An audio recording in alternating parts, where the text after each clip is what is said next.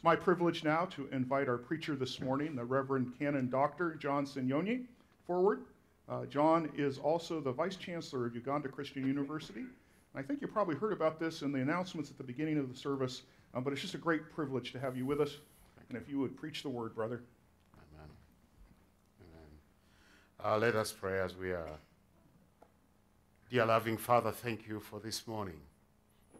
It's a beautiful day, beautiful time when we come into your presence. For we know that there is fullness, fullness of joy in your presence.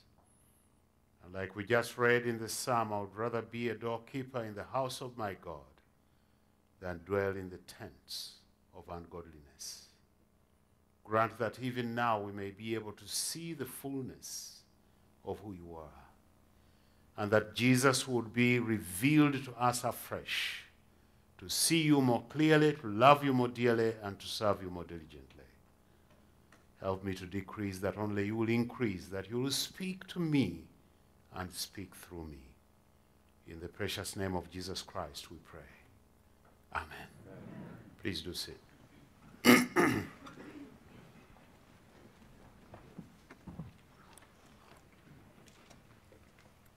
uh, first of all, let me say thank you once again to uh, for the wonderful welcome that I have received, uh, especially on this Sunday when my own wife, whose name is Ruth, is not here. Uh, so, uh, like I always say, when I don't have Ruth, I'm ruthless. so, uh, but I know she'll be back this evening. She's actually in the country uh, but she traveled to Alabama and will be returning this evening. Uh, so it's a joy for me to be welcomed even without her. I want to say, I mean, we've been married with Ruth now coming to 35 years. The Lord has did bless us with four children, two of them married. We have four grandchildren. And uh, any grandparents in this place? Ah, so, you know, when I look at grandparents, I'm looking at crazy people. um, you know, grandparents and grandchildren, that's the craziest thing God has ever created, isn't it? It really is. So uh, I'm glad to be part of you. So we have four grandchildren, and uh, we are very delighted to, meet, to be with them each time they are with us. But I also bring greetings from Uganda Christian University. As you heard, uh, you have been our friends, our partners, and we are so glad for your support. Uh, I think since I was here uh, the last time, we have established the medical school. I don't think it was established then. So we do have a medical school for, the, for Uganda Christian University, and that is based at a hospital, the very first hospital in Uganda, founded by the church.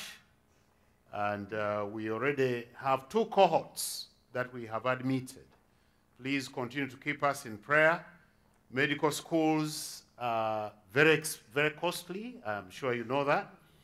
But uh, God has taken us for the last two years, and we've been able to see amazing, amazing things happen even with that medical school. God has provided thus far.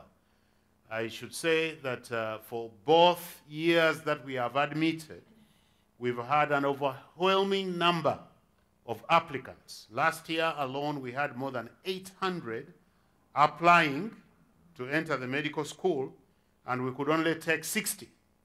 Six zero, that's all uh, that we could take. Among those who applied, we had a pharmacist who is already qualified. We had a veterinary doctor also already qualified. But these are people who were desirous of entering the medical school, and we just couldn't take all of them. We really focused more on the younger people. So this is this just shows you the hunger and the need. And uh, when you look, on the other hand, at the need on the ground for medical doctors, it's amazing. I mean, it's just, uh, I know we do need many doctors, but we also need Christian doctors that will go out into the hospitals and serve the Lord. So thank you very much for your partnership. Greetings from UCU, uh, from our five campuses of more than 11,000 students. And uh, we rejoice in the ministry that we are doing. The other faculty that was founded during uh, these, these last two years is the Faculty of Journalism, Media, and Communication. That's another one that is always oversubscribed in terms of applicants, and we can only take so many. So continue praying with us, and I'm sure the Lord uh, will see Uganda Christian University rise higher. Now, this morning we are looking at uh, the presentation of the Lord Jesus Christ by his parents. As I was reflecting on the message for this morning, my mind and my memories went back to our traditions as a people in the area I come from called Buganda. And in that area, we have our own ways of presenting the child and even uh, ensuring that the child who is presented truly belongs to the family. When a child is born, at least traditionally, now we no longer do that, they would take a piece of the umbilical cord that's cut away and it would be put in a bowl of water. If it sunk, the child would not be a child of that family, so they believed. But if it floated, then all was okay. Of course, they would first dry it and all that.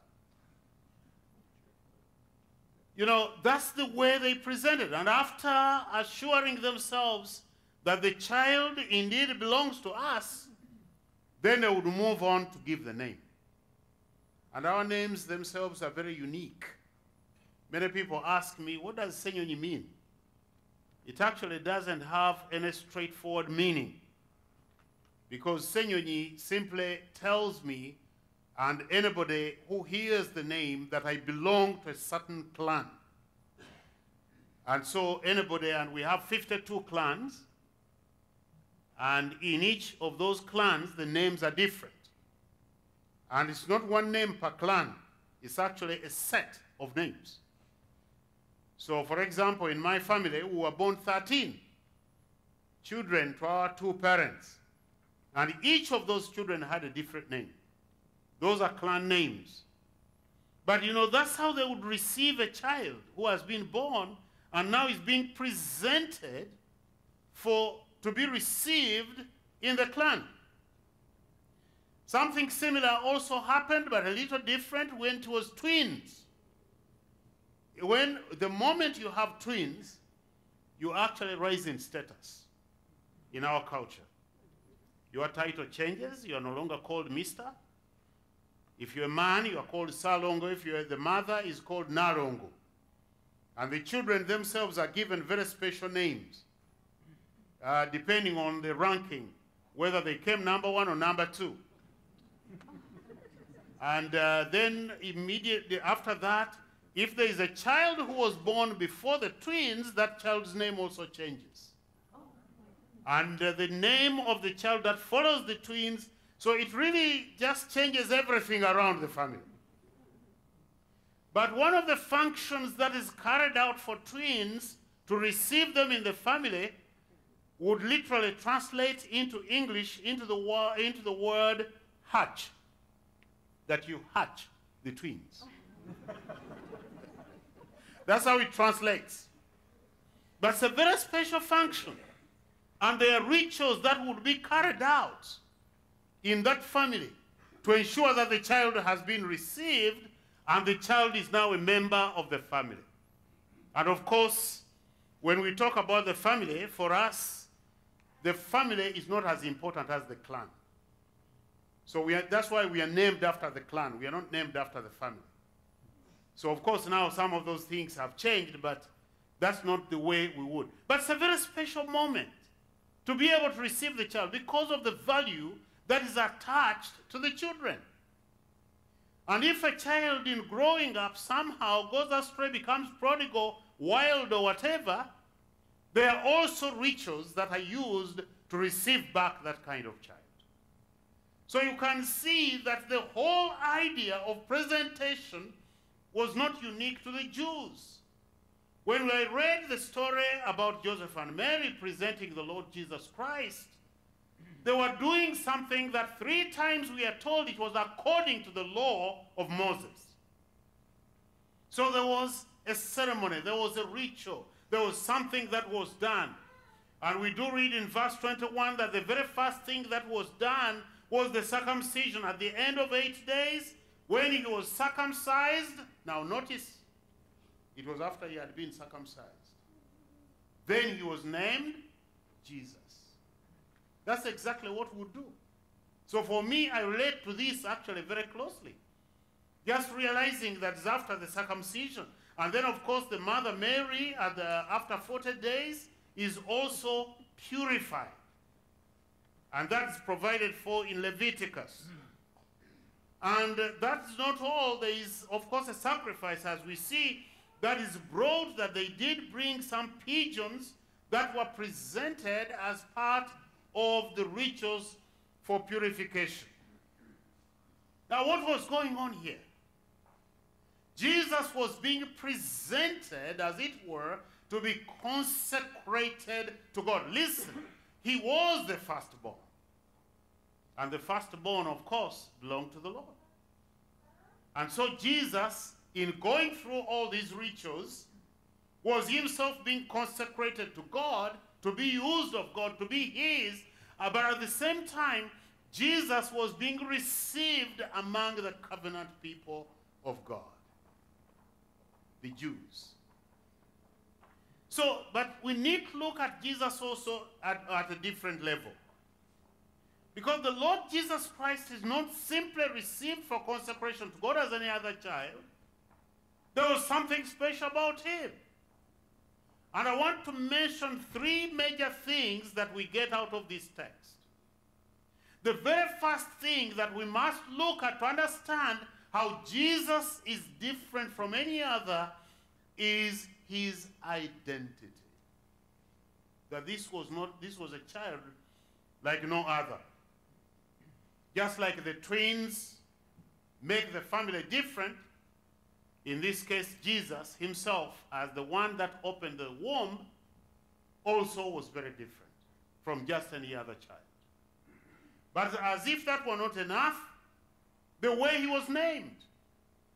There are different titles that are used about Jesus.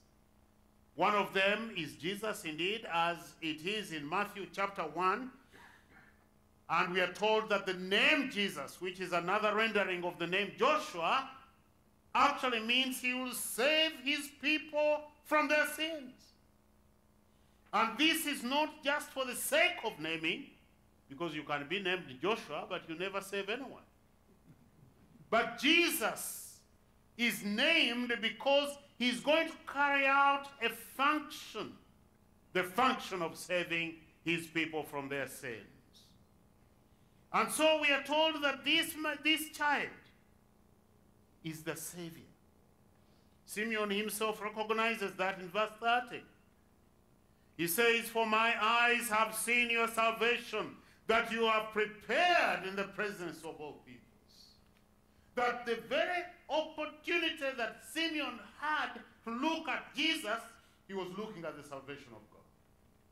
He was looking at the Savior who would save his people from their sins. So that's the first name that is given.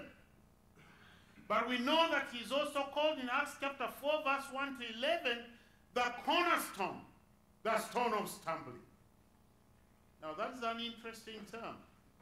Because when you call someone the, stone of stumbling, that's not the kind of desirable thing you would expect. But that is exactly the truth about the Lord Jesus Christ. Every name had significance. It's actually telling us that Jesus, wherever he will be named, will divide people. That there will be those that will be called his, and there will be those that will not be called his. Yes, I was born in a family, and I grew up going to church. But it was not until 1976, as a university student, that I became his. I had been baptized as a child. But really, this had never become my life. In 1976, I invited Christ into my heart. And that's what made all the difference. Jesus, the cornerstone, the stumbling, the stone of stumbling. He divides people between those that are his and those that are not his. And as if that were not enough, he's also the one that divides between those that are saved and those that stand under judgment. It is between those that have enjoyed the fullness of the salvation of God and those that have not that are under the judgment of God. I often think about the term, the phrase that we use in the prayer that our Lord Jesus Christ taught us. We pray, Thy kingdom come. Now, the implications of that is that when His kingdom comes, when Jesus returns, there will be those that will be saved, there will be those that will be for judgment. And that is all because Jesus is the cornerstone, the stone of stumbling. He's also called the Messiah, the Christ, the hope that the Jews waited for, that looked that they looked forward to. So as he's presented in the sanctuary here, he's also presented as the one in whom the Jews had been hoping and waiting. And he's presented to us the hope of Israel's redemption. And finally, he's called the Son of God. And I'm not saying that I'm mentioning all the names of Jesus. I just picked out these four for our illustration to understand that Jesus is indeed unique. His identity is very special. So we are told he's the Son of God. In Luke chapter 1, verse 32, when the announcement is made, this is the Son of God, he will be the Son of the Most High. This child is God with us, Matthew tells us. This child is divine. God presents himself to us in the Lord Jesus Christ. The identity of Christ, who he is, makes all the difference about the present. We wouldn't present any other baby. But to present the Lord Jesus Christ is to present one who is different, who is unique, who is from God, indeed, who is God himself. The second point that's made for us in this text is the universality of the Christ child. That this child had not only come for the Jews, he had come for everybody. Listen to what Simeon says. I'll read from verse 29 to 32. He says, Lord, now you are letting your servant depart in peace, according to your word. For my eyes have seen your salvation, that you have prepared in the presence of all people. Now listen, a light for revelation to the Gentiles. That he had prepared it in the presence of all the people, a light for revelation, not just to the Jews, but also to the Gentiles. That's why I'm saved, my brothers and sisters. Because I know that this Savior is not a Savior just for Jews. I don't think I have any DNA strand, a strain that shows that, that came from Israel. But this one thing I know that in Jesus Christ I belong.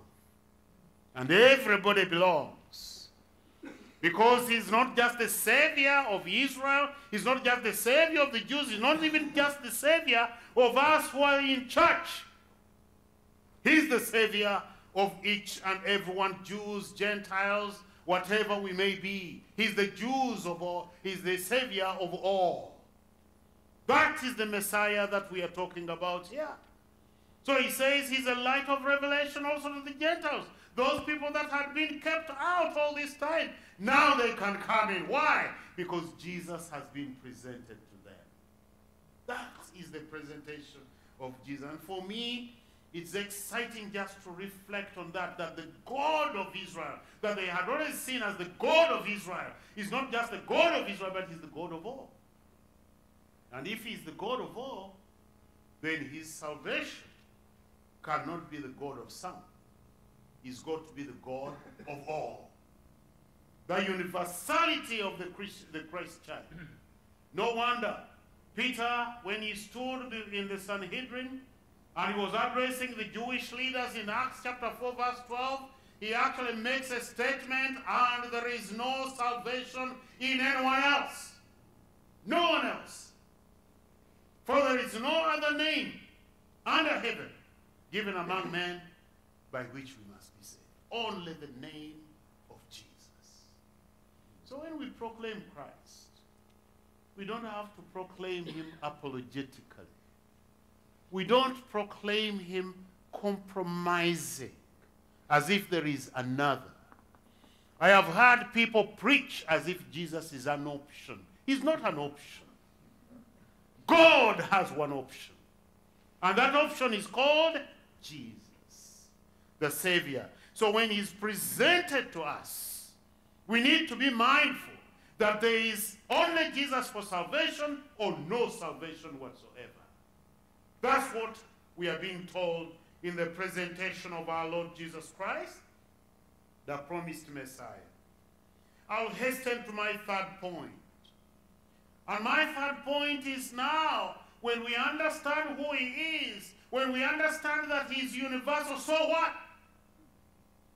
What does that actually mean for us as a church? It means that we have a mission. We have a mission. The presentation of this child is the mission of the church to the world. It was Joseph and Mary presenting the first time. But now it is the church. Over the centuries we have done it, and we must never cease until the Lord comes back that the responsibility lies with us as the church. We are a missional church. There is no other way that we can do it. The church must always be reaching out. When I'm at Uganda Christian University, and there it's education, higher education, even higher education as mission. When people come to my office, and I've seen people come to my office and they don't know Christ, when they come to my office and I get to know they don't know him, it's my opportunity to present this Jesus to them. And I've seen people come to Christ and I cannot cease, I cannot stop doing it. Because the fact that Jesus is who he is, the fact that Jesus is universal, his salvation is for all people, it does not matter. They may be Muslims, they may be whatever. Indeed, at Uganda Christian University, we do admit uh, Muslim students, and we've seen them come to Christ. That is our mission. How will they know otherwise? If Simeon says he's a light of revelation to the Gentiles, it is the church that must take a so when we are preparing medical doctors, or we are preparing journalists, or we are preparing lawyers, or we are preparing engineers at the university, or whatever else we may be preparing them for, we are preparing them to go out and present Jesus out there in the world unapologetically. The message of Christ is universal. Just a few things as I conclude. Because Paul himself understood this very well. We read in 1 Corinthians chapter 2. I just want to make some quick reference there. Maybe let me read those first five verses only. And then I'll share a few thoughts for you and shut up. and Paul says, And I, when I came to you, brothers, did not come proclaiming to you the testimony of God with lofty speech or wisdom for I decided to know nothing among you except Jesus Christ and Him crucified. And I was with you in weakness and in fear and much trembling. And my speech and my message were not in plausible words of wisdom, but in demonstration of the Spirit and of power. So that your faith might not rest in the wisdom of man, but in the power of God. Now, what is Jesus What is Paul saying here? He understood who Jesus is. He understood the universality of Jesus' work, his salvation. And now he says, all this has implication for me.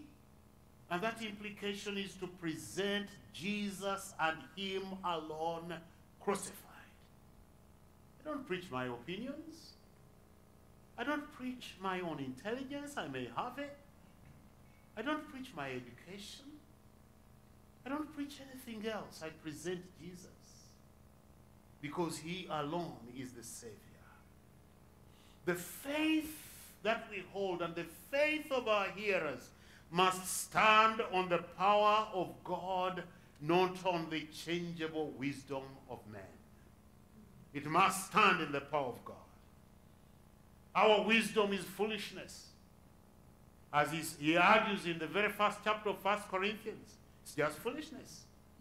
But the wisdom of God is difficult even for us to fully understand it. And people inquire when we preach the gospel, they, when we preach it out of our own wisdom and they try to use their own wisdom, they cannot understand it. But it's God's wisdom that opens their minds. Ours is to proclaim in the power of the Holy Spirit and the power of God that He gives and in His own wisdom. We present Jesus and Jesus alone and Him crucified. So that whoever knows the crucified Savior finds salvation.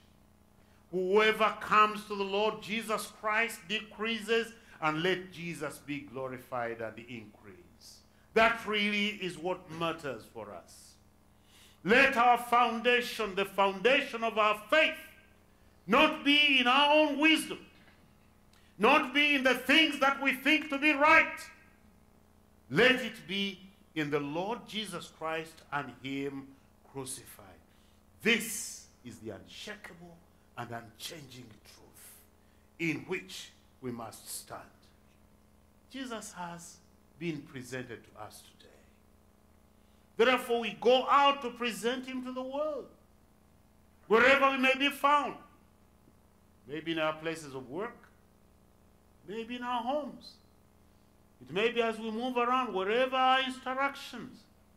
May the people around us see that Jesus is presented. The question must come to all of us. Will Jesus be heard? Will Jesus be seen? Will Jesus be witnessed? Will Jesus be known in and through